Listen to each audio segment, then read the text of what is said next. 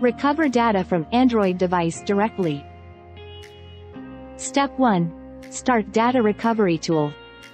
Launch Wondershare Dr.Fone on your computer and navigate to Toolbox, Data Recovery. Step 2. Select Android for recovery. Step 3. Proceed to select function for recovery. Continue to select Recover Android data from the available list. Step 4. Connect Android device to computer. Step 5. Select file types to recover. When redirected to a new screen select the file types you want to recover from Android. Continue by clicking Start Scan on the bottom right of the screen.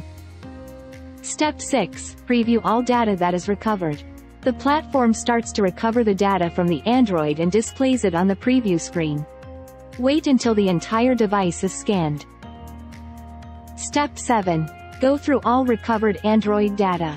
Once the device appears on the screen, you can select and view all available data. Click on the filter options on the top and select any appropriate option to change the viewing parameters of your platform. Step 8. Recover data to computer. Click the Recover button on the bottom right after selecting all appropriate file types. Continue to set the location of the recovered data and click Recover on the pop-up to execute the process.